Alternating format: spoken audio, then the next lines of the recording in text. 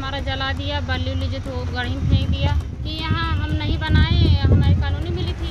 वो कह रहे हैं, यहाँ पे मत बनाओ, बंजर ज़मीन है, हमें दिया सुल्तानपुर में एक महिला आरोप लगा रही है कि गाँव के कुछ लोगों द्वारा उसका छप्पर जला दिया गया। मामला थाना गोसाईगंज क्षेत्र के डीडग्गूपुर के मजरा भटवा के पुरवा का है, जहाँ हरिजन आबादी को लेकर कब्जे का विवाद है। कुछ दिन पहले महिलाएँ पुलिस और लेखपाल कानूनगो पर आरोप लगाते हुए भटमई चौराहे पर इकट्ठा हो गई थी जिन्हें पुलिस द्वारा समझा बुझा कर हटाया गया था। उम्मीद कर रहे हैं हमारी ज़मीन जहाँ है हमें घर घर वहाँ बांधना चाहिए। खबरों की दुनिया में सच का साथी। तमाम छोटी बड़ी खबरों को देखने के लिए सब्सक्राइब करिए ऋषि मीमांसा समाचार को।